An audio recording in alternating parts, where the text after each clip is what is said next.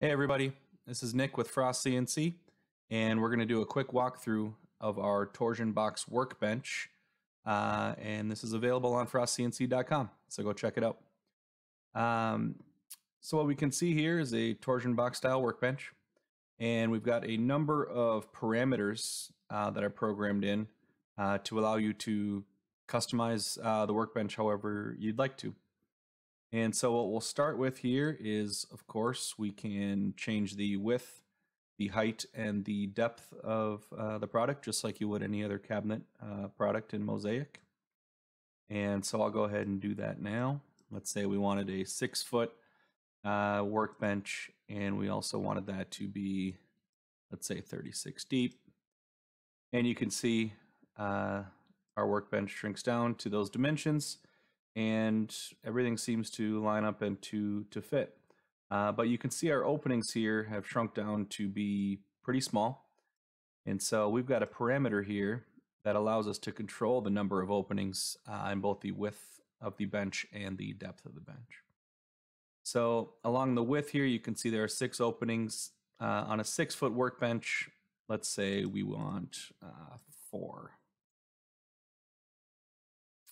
And you can see the spacing automatically updates, the interior structure updates, uh, and everything uh, continues to line up. And along the depth of the bench here, we're going to go from three to two openings. There we go.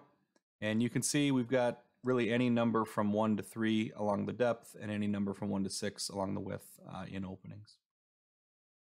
If I remove the top Go to layers and tops. You can see uh, we've got kind of this skeleton-like structure in here. And these uh, interior components are all joined with half lap joints. So I'm going to blow this up a little. And you'll kind of be able to see we've got this half lap style joinery uh, connecting them together. Uh, and so again, any number from one uh, through three along depth and one through six along width all of the interior components uh, follow suit uh, with uh, this joinery. So we'll go ahead and put that back. Now I'm going to go ahead and put the top back on.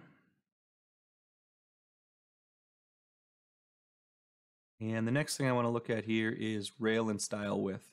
And so we have control here of the thickness of the rail component here. So if you wanted, let's say, a little stouter bench, we can go to three inches there and you'll see we went to three inches, go back to two. Uh, we can do the same thing here with the stile, both here and also at the ends. Uh, we can go to extreme to show. We can make a much stouter look, whatever you'd like. We've got some dado control here. Uh, we've got a dado of the uh, end into the side and we've got it set at a quarter inch right here and you can see that there. If you wanted that to be a butt joint and set our dado to zero, so be it. Um, we wanted that to be thicker or a deeper dado, excuse me. Uh, we can go ahead and do that um, as well. So we'll leave that as a half inch there. And we can also do that on the interior components. I'll go ahead and get rid of the tops again. And we can see we've got a quarter inch dado there and we have full control over that dado of your interior components uh, as well. And we'll leave that as a half inch moving forward. Uh, and then I've got some slot parameters built in uh, to those dados as well. And those are separate from the slot parameters that are already in your uh, Mozaik construction method. Uh, so you can control how your parts fit. Uh, the next one asks for the diameter of the cutout tool, most likely a 3 8 compression, maybe a half inch compression tool. And if I put the top back on, you can see why. Uh, it really does two things. Uh, one, it actually makes uh, the cutout be the correct size. And two, uh, it controls our little dog bone shape here uh, to get you a tight fit in the corner. So if I go ahead and go to one inch, you can see it controls the, the dog bone so that your parts fit together uh, nice and snug. We'll go back to 3 ace there. we've got control here of the diameter of the holes in the top. So if you have a certain clamping system or a certain uh, bit you would like to use for the holes in the top, uh, that's where we could change that. The next thing, if we want to hide all fasteners, I've got these pre-done pilot holes here for you. If you would like to make your own uh, and you don't want that, we can go ahead. You can see zero being no and one equaling yes. So if I go to one, we can hide all of the fasteners uh, really in the entire model. We'll turn those back on. Next parameter is the distance from the edge. Really anywhere we've got a, a screw coming up to the end uh, of a part, we can control how far in that hole gets placed uh, so that we don't split uh, plywood or whatever we're making this out of. And so again, we'll go to an extreme. Probably two inches is a little far from the end. But again, you can dial it in however you'd like. The next thing we've got is to remove the center fastener hole. You can see we've got a third hole here in the center of all of these joints. Suppose, I'm going to go over to the size tab here. Suppose you wanted a shrunken down bench, we'll go to six inches. At six inches high, there's really no need for three screw holes there. And so I wanted you to have some control to be able to remove all of those pretty easily uh, to accommodate uh, shorter benches. And you can see the center hole gets removed on all of the joints uh, around the workbench. We'll undo that. I'll go back here, that. Okay. Carry on. You can see here we've got the uh, fastener hole diameter. All of these holes for putting the bench together are currently set up for five millimeter. If you've got a three millimeter brad bit, go ahead and control the size of your pilot holes. The next spot, we've got corner width to capture the top and the bottom. So you can see how we've got this corner area that captures the top and we've got one on the bottom.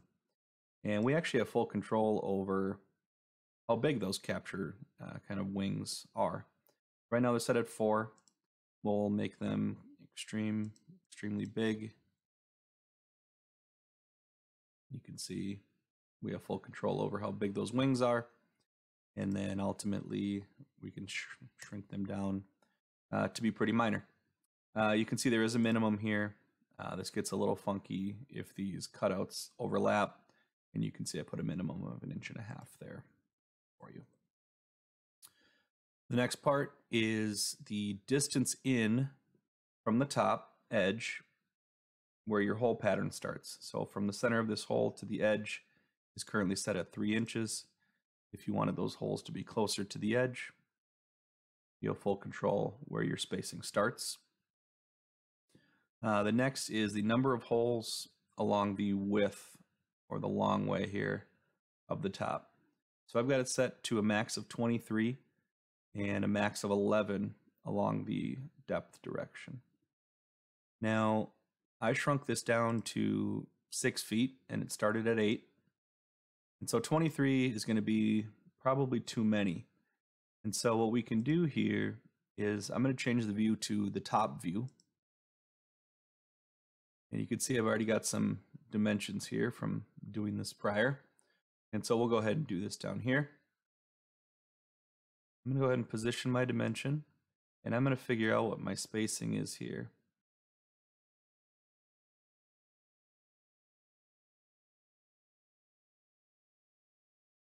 All right. I would probably like that to be four inches. And so I could do the math otherwise. I could just check here. I'm going to go from 23 holes down to 17.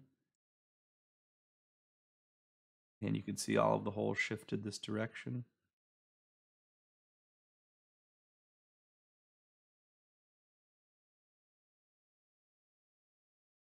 So that ended up being at roughly four and a quarter.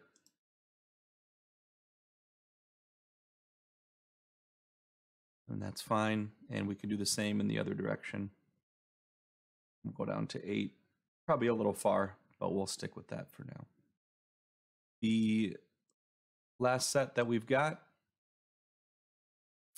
is we've got fasteners down the edge here and fasteners on our partition piece right here uh, to screw the top and the bottom in.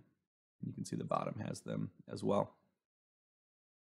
And we can control how many there are, including removing them altogether uh, by going to a quantity of zero. If I go to zero, you can see all of the fasteners along the width here have gone away.